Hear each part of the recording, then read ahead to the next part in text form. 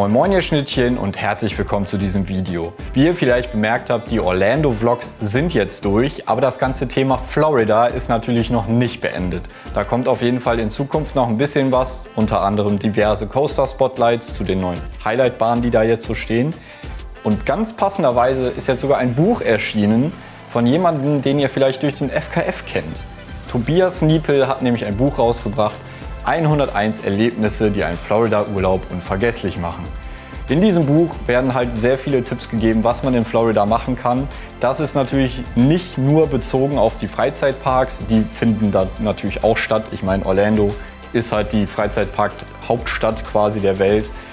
Die finden da alle drin statt, also Disney mit seinen ganzen Themenparks und Wasserparks und auch Disney Springs, dann haben wir Universal mit den drei Parks, dann mit dem City Walk, dann äh, äh, SeaWorld, Discovery Cove, Aquatica, Busch Gardens.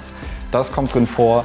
Aber vielleicht wollt ihr ja über die Parks hinaus noch was von Florida sehen. Und genau dafür ist dieses Buch gedacht, denn da gibt es ganz viele Tipps, was man sonst noch so machen kann in den Everglades, äh, in den Keys, äh, in Miami, welche Routen man fahren kann, was man vielleicht mal gesehen haben sollte, was für Erlebnisse man äh, buchen kann, quasi, was es halt alles für Möglichkeiten gibt.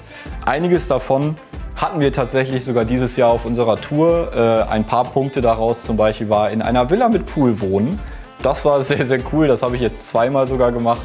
Kann ich nur wärmstens empfehlen, lohnt sich aber tatsächlich eher nur, wenn man ab vier Personen aufwärts eine Gruppe hat. Wir haben uns einen Raketenstart angeguckt in Cape Canaveral, äh, was auch unfassbar beeindruckend ist. Da muss man natürlich gucken, wann startet da was. Ich meine, auf Websites kann man das ja alles nachgucken, zu welchen Uhrzeit da Raketen starten.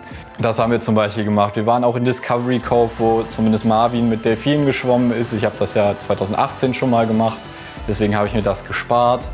Äh, in Miami zum Beispiel waren wir diesmal nicht. Da war ich vor fünf Jahren mal. Äh, kann man sich halt auch angucken. Wir waren auch im Miami Zoo damals, wir waren am Strand. Ähm, da gibt es halt ultra viel, was man irgendwie machen kann. Und wenn ihr da Bock drauf habt, dieses Buch wird demnächst irgendwann mal, denke ich, verlost. Äh, ich habe ja schon im letzten Vlog von Orlando angekündigt, vielleicht mal ein QA zu machen zu diesem ganzen Trip. Und ich würde sagen, dass ich das da dann auch verlosen werde. Ähm, es ist dann auch dieses Exemplar. Ich habe es mal durchgeblättert, ich habe mal geguckt, was da so alles drin ist.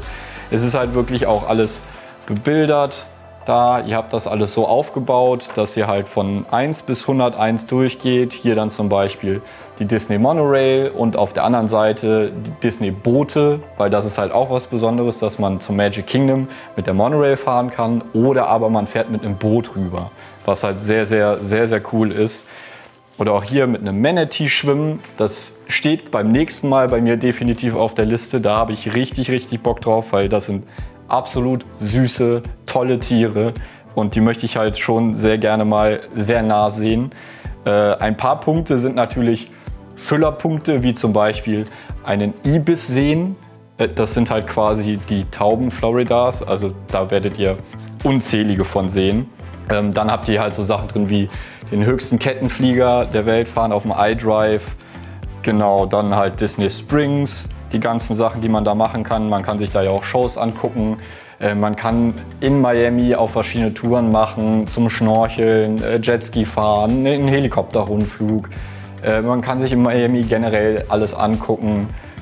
Man kann durch die Everglades, man kann zu Key West, Tampa kann man sich angucken, theoretisch kann man sich da auch Football angucken, theoretisch kann man sich da Eishockey angucken.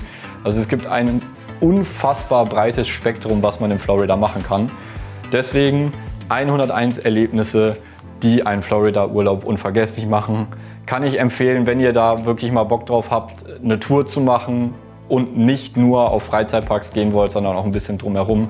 Guckt euch dieses Buch an, da steht alles drin. Da sind sehr viele, sehr coole Punkte drin, die ich auch quasi schon gemacht habe. Also kann ich das alles wärmstens empfehlen.